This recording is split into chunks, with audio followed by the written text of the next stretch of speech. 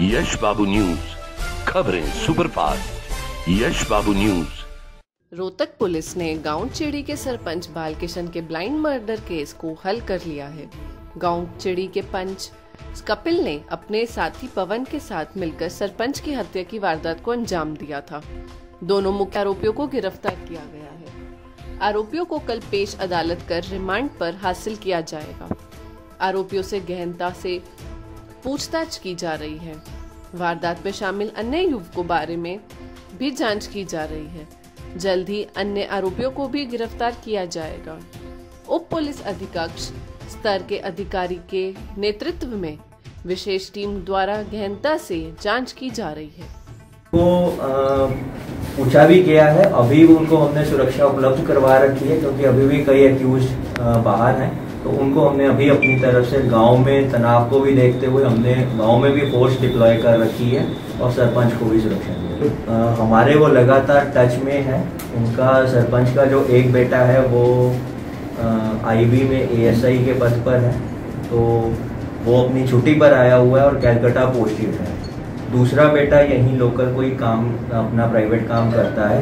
तो ऐसा नहीं होने दिया जाएगा कि वो इस इंसिडेंट के कारण गाँव छोड़ने पर मजबूर और उचित सुरक्षा उनको ऑलरेडी दी गई है, और अगर ज़रूरत होगी तो हम और भी। देखिए, ये दोनों चीज़ें हुई हैं लॉकडाउन के दौरान जो क्राइम में इंक्रीज आया है मैक्सिमम डोमेस्टिक वायलेंस और घरेलू अपराध से रिलेटेड क्राइम में इंक्रीज देखा गया है अगर हम रोहतक ज़िले की भी बात करें तो यहाँ पर भी हस्बैंड वाइफ बाप, बेटा, माँ, बहन माँ, बेटा, इस तरह के जो क्राइम हुए हैं, वो काफ़ी इंक्रीज हुए हैं।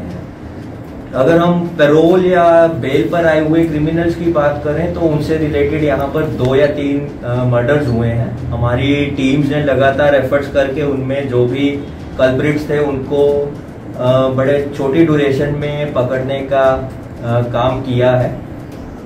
हमारे जो भी हार्डकोर क्रिमिनल्स हैं इस टाइम डिस्ट्रिक्ट के, वो सारे किसी ना किसी जेल में बंद हैं।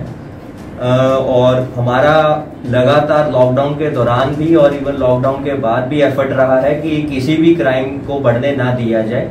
और अगर हम पिछले 20 दिनों की बात करें, एक जुलाई से बात करें, हमने विशेष तौर पर अपने तकरीबन 22 या 23 तो आर्म्स एक्ट की एफ़ करी हैं एनडीपीएस की भी एफ़ करी हैं।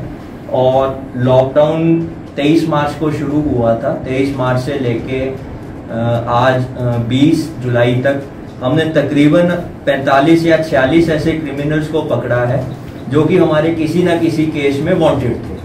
और किसी भी सूरत में जो क्राइम करने वाले हैं उनको क्राइम नहीं करने दिया जाएगा लेकिन अगर कोई करता भी है तो हम उनको पकड़कर उनको जुडिशियल सिस्टम में अंतर्गत लाकर उचित सजा दिलवाने के लगातार एफर्ट्स करने का हमारा काम है और उसमें हम लगातार अपने एफर्ट्स कर रहे हैं और हमारे जो भी यूनिट्स हैं, जो भी हमारे थाने टीम हैं, वो लगातार अपने एफर्ट्स कर रहे हैं। यश बाबू न्यूज़, खबरें सुपरफास्ट। यश बाबू न्यूज़।